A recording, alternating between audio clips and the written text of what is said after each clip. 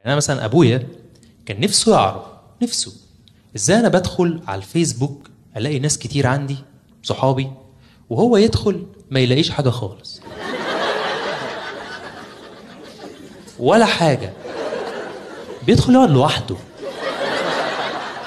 ويغيب.